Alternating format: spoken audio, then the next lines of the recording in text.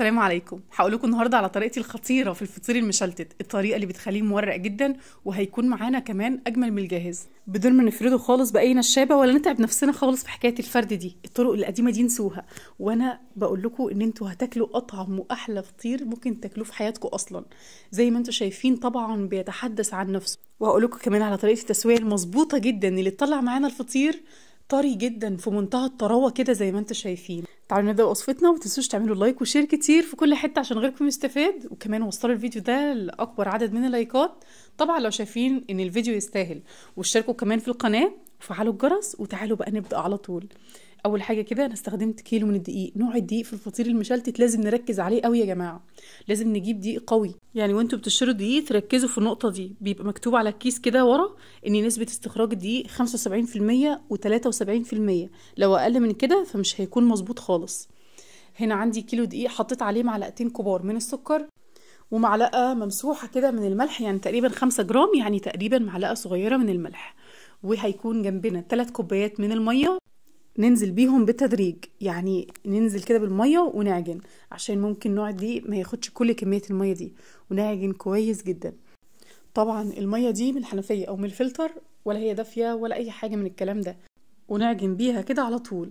أهم حاجة إن العجينة دي بتحتاج عجن كويس جدا.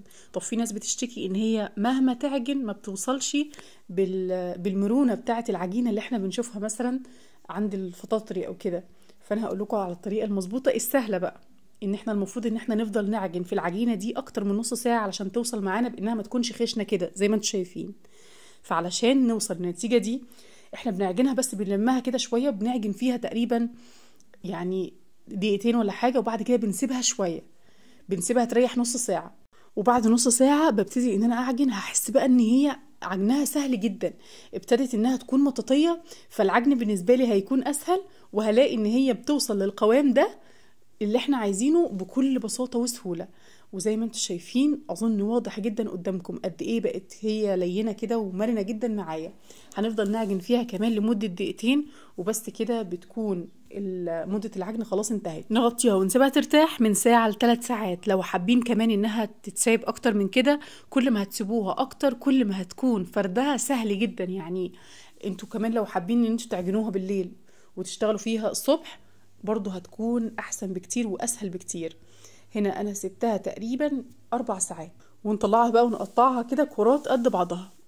علشان يعني على قد ما نقدر تكون الفطاير قد بعضها. هقطعها كده بالشكل ده. عايزة أقول لكم إن طريقة العجن اللي إحنا عجناها دي بتوفر علينا إن إحنا ما نعجنش كتير. يعني إحنا لازم نوصل بالقوام ده اللي أنتوا شفتوه. لو إحنا قعدنا نعجن علشان نوصل له فمش هيكون أقل من 15 دقيقة أو 20 دقيقة. فطريقة العجن اللي إحنا عجناها النهارده هتسهل عليكم كتير قوي وهتديكم نتيجة أحسن من الطرق القديمة بكتير جدا يا جماعة. بجد أنا ما كنتش بعملها زمان أما جربتها الطريقة دي بقت سهل عليا كتير. إن إحنا يعني نعجن العجينة على مرتين نعجنها شوية دقيقتين ونريحها نص ساعة ونعجنها دقيقتين تاني هنكون وصلنا للنتيجة المطلوبة. هنا بقى هاخد بقى كل الكرات دي وجبت صينية مدهونة زبدة. الزبدة اللي أنا استخدمتها النهارده زبدة بلدي. أنتوا بقى الزبدة اللي أنتوا حابينها واللي تفضلوها استخدموها.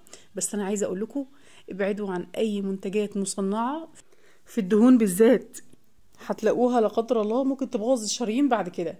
فانتوا حاولوا إن أنتوا حتى لو بتستخدموها قللوا الاستخدام شوية واستخدموا الطبيعي برضو.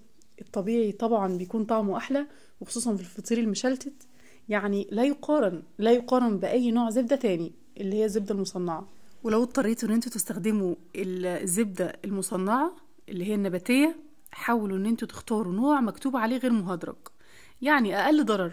هنا طبعا الكرات بعد ما دهنتها كويس جدا كده وغلفتها بالزبدة أنا سبتها ترتاح ساعة علشان تكون سهلة في الفرد.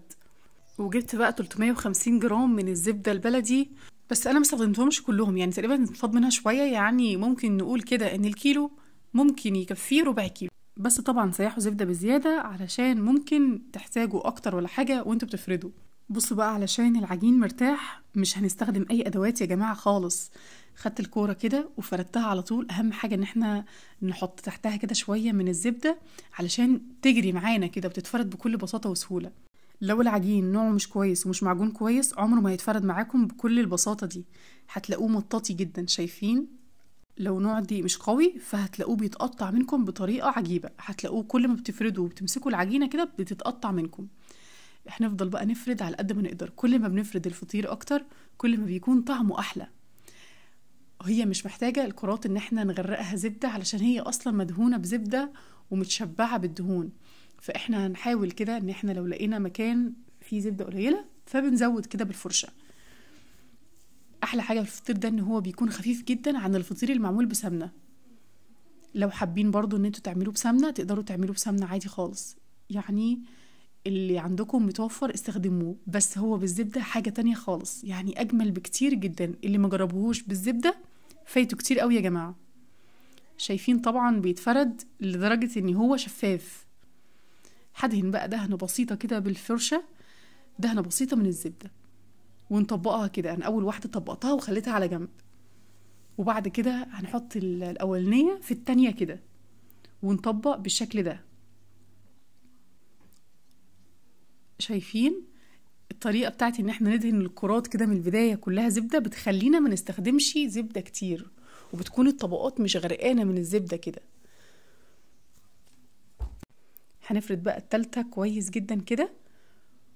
وندهنها بسيط من الزبدة ونطبقها وهنحطها برضو على جنب.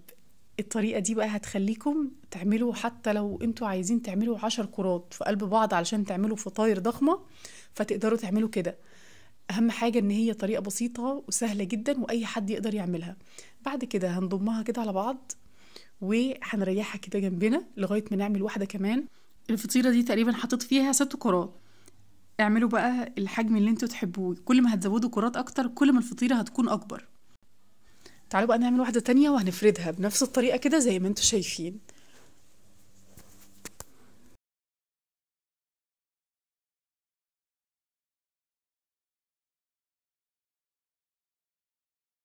بصوا هنا مقفلتهاش كده زي الفطيرة الأولانية. أنا يا دوب بس كده دخلت الأطراف جوه. بالطريقة البسيطة دي. يعني الطريقتين كويسين بس دي أسهل. إن إحنا ما نقفلهمش على بعض في الآخر نقفلها زي الظرف يعني الفطيرة نعملها كده بالطريقة دي وهتكون تمام جدا برضو. دلوقتي بقى لازم نريحهم شوية كده علشان نعرف إن إحنا نفردهم في الصينية بكل سهولة. جبت بقى صينية مدهونة من نفس الزبدة ودهنتها برضو من فوق كده بشوية من الزبدة وهبتدي إن أنا أفردها. ما ينفعش خالص بعد ما نفردها في الصينية إن إحنا ندخلها تتخبز على طول. هتلاقوا الفطيرة جوه الفرن كشت معانا. فأنا بسيبها برضو تقريبا كده عشر دقايق لغاية ما بفرد فطيرة تانية ولا حاجة. وبعد كده بتسخنوا الفرن كويس جدا لمدة عشر دقايق على درجة حرارة عالية جدا. وهندخل الصينية في الرف الوسطاني. وهنشغل الفرن تحت بس. وهنخلي الشواية على الهادي جدا. وهنتابع الفطير أول بأول كده. مش هياخد أكتر من عشر دقايق. لو الفطير المشلتت طول في الفرن عن عشر دقايق هتلاقوه ناشف معاكم وبيشد كده وطعمه مش هيكون حلو خالص. ودي الطريقة المظبوطة للتسوية. الناس بقى اللي بتحب الفطير المشلتت يكون طري جدا كده ما يكونش فيه حتت مقرمشة خالص. أنتوا أول ما يطلع من الفرن غطوه على طول. يا إما تغطوا الصينية اللي مخبوزة فيها بغطا حلة يا إما تغطوها بورق فويل.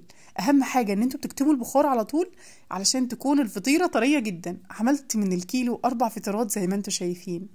طبعا من شكلهم باين قد إيه الفطير ده مورق وحلو جدا والشكل باين إن هو زي الجاهز بالظبط. بس الطعم بقى طبعا أحلى بكتير. أنا متأكدة إن أي حد هيجرب أصلا الفطير بالطريقة دي مش هيقدر إن هو ياكل الجاهز تاني أصلا. هتلاقوه في البيت أجمل وأحلى. شايفين الطبقات قد إيه خفيفة؟ كل ما الفطير المشلتت طبقاته بتكون خفيفة كده كل ما بيكون طعمه أحلى بكتير. يعني أنا بشوف ناس كتير بتعمل الطبقات تخينة كده ما بيكونش حلو خالص. كل ما بتفردوه أكتر كل ما هيكون طعمه أحلى.